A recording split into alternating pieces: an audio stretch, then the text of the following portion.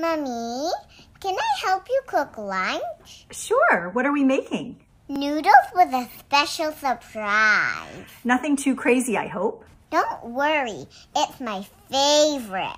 First, add the seasoning. Thank you. Now cook the noodles. In go the noodles.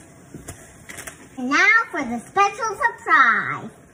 Ketchup! What? Just try it. Okay. It's gonna be so good.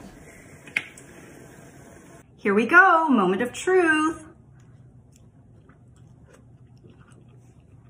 Mmm.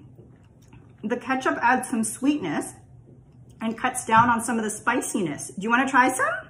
No, thank you. I made it all for you.